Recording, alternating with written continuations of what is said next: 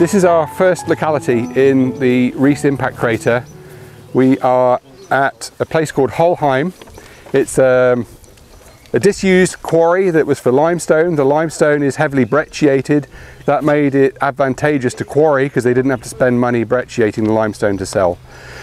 The brecciated limestone is at the base of the impact crater in the Ries and we're looking at a surface contact behind us in the quarry which is the uh, start of the impact breccia overlying the limestone.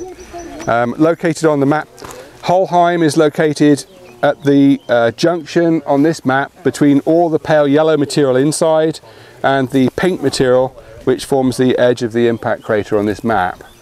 So we're at this location called Holheim which is just a few kilometres south from the town of Nordlingen and we are on the rim wall of the impact crater of the Ries and uh, we're, we're looking at the contact between the impact breccia which is soft but it's well preserved in the Ries crater because it's very young only 14.5 million years old.